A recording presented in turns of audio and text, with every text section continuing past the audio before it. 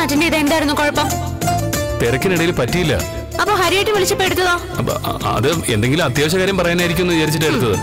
എന്ന് വെച്ചാ ഞാൻ വിളിക്കണത് ഒരു കാര്യമില്ലാത്ത കാര്യത്തിനാണെന്ന് അർത്ഥം. എന്നാ ഞാൻ അത്താഴം എടുത്തു വെക്കാം. അത് ഞാൻ കഴിച്ചു കേട്ടോ. അ- അപ്പൊ ഞാനിവിടെ കഴിക്കാതെ കാത്തിരിക്കുന്നു അറിയില്ലേ? നീ കഴിച്ചില്ലേ? കഴിച്ചു. വയറ് നിറച്ച് കഴിച്ചു. ആനമുട്ട